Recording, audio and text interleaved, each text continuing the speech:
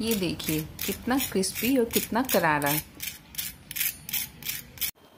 Hello everyone welcome back to my channel आज मैं आपके साथ मेदू वड़ा की रेसिपी शेयर कर रही हूँ, जिसे हम व्रत में खा सकते हैं, और ये बहुत ही ज़्यादा टेस्टी क्रिस्पी है। आप इसे किसी भी अपनी मनपसंद चटनी के साथ खा सकते हैं, और इसे बनाना बहुत आसान है।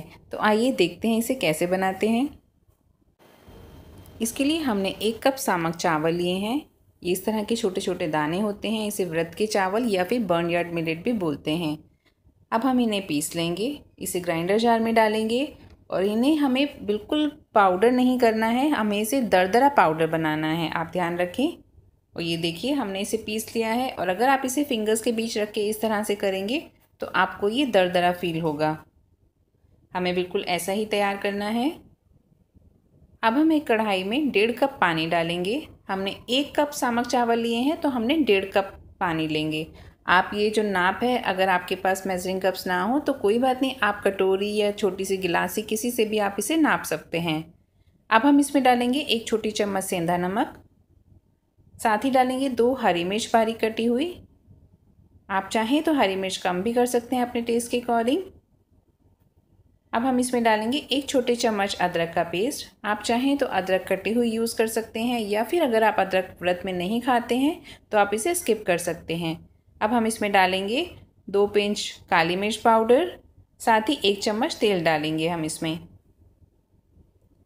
अब ये पानी उबलने लग गया है तो अब हम इसमें जो हमने सामक चावल पीसे थे, वो डालेंगे थोड़े थोड़े करके और साथ ही साथ हम इस तरह से इसे चलाते रहेंगे ताकि इसमें लम्ब भी ना बने और ये बिल्कुल एक समान पक जाए। ये देखिए, हम एक हाथ से डालते रहेंगे और दूसरे हाथ से इसको हिलाते रहेंगे और जो गैस का फ्लेम है, वो इस समय हमने बिल्कुल लो किया हुआ है। हम इसे लगातार चलाते रहेंगे।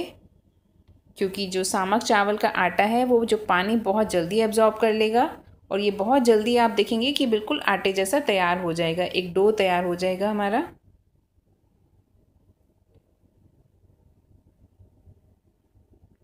हमें इसे बस लगातार चलाते रहना है लो फ्लेम पर। जब तक कि इसका सारा पानी एब्जॉर्ब नहीं हो जाता या बिल्कुल ये डो जैसा आपको नहीं लगने लग जाता। और ये देखिए, हमारा डो बिल्कुल तैयार हो चुका है इसका। अब हम यहाँ गैस का फ्लेम ऑफ़ कर देंगे और इसको ढक देंगे और तब तक हम बाकी की तैयारी कर लेंगे। हम एक बर्तन ले लेंगे। अब हम लेंगे एक मीडियम साइज़ का आलू, जिसे हमने पहले उबाल कर फ्रिज में रखा हुआ था। अब हम इसे ग्रेट कर लेंगे या कद्दूकस कर लेंगे इस तरह से।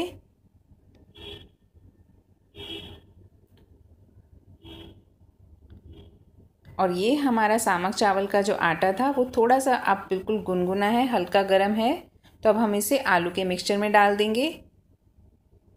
और साथ ही हम इसमें डालेंगे तीन से चार बड़े चम्मच हरा धनिया बारीक कटा हुआ। हरा धनिया इसमें बहुत ही अच्छा फ्लेवर देता है। साथ ही हम इसमें डाल देंगे थोड़ा सा नमक, क्योंकि हमने नमक जो पहले है, वो चावल के हिसाब से डाला था। अब हमने इसमें आलू भी ऐड किए हैं तो हम नमक, आप चाहें तो लाल मिर्च भी ऐड कर सकते हैं, और इस, यहाँ पर आप इसमें थोड़ा सा नींबू भी डाल सकते हैं। अब हम इनको अच्छे से मिक्स कर लेंगे और बिल्कुल एक डो जैसा तैयार कर लेंगे। और ये डो बिल्कुल तैयार हो चुका है। अगर आपको ये डो थोड़ा पतला लगे तो आप इसमें सिंगाड़े का आटा भी डाल सकते हैं, या कोई भी और आटा, कुट्टू का आटा, या फिर सामक चावल का आटा। पर ये मेरा डो बिल्कुल सही सेट हुआ है तो मैं इसमें कोई भी आटा नहीं मिला रही हूँ इस समय।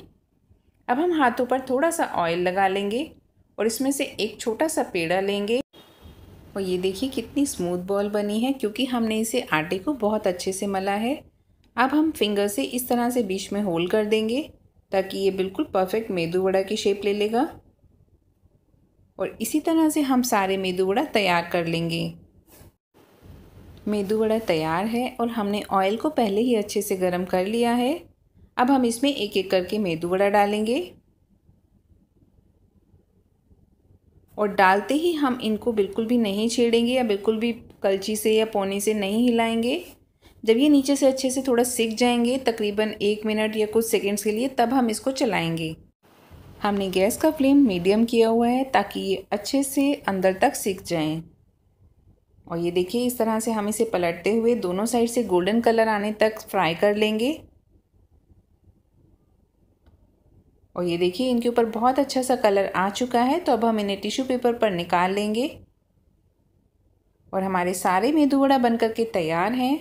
दिखने में कितने बढ़िया लग रहे हैं, और अगर मैं आपको तोड़ के दिखा रही हूँ अंदर से इनका टेक्सचर देख सकते हैं और ये ऊपर से बहुत ही ज़्यादा क्रिस्पी हैं। और आप इसे धनिया पुदीना की चटनी और साथ ही इमली और खजूर की चटनी के साथ अगर गर्मा गर्म सर्व करेंगे तो ये बहुत ही ज़्यादा बढ़िया लगेंगे। तो आप इस रेसिपी को अपने घर में ज़रूर ट्राई करें और अपने अनुभव मेरे साथ ज़रूर शेयर करें। और अगर रेसिपी अच्छी लगी हो तो हमारे चैनल को लाइक, सब्सक्राइब और शेयर ज़रूर कीजिए। और साथ ही लगे बेल आइकन पर ज़रूर प्रेस कर दें ताकि आप हमारा कोई भी नया वीडियो मिस ना करें।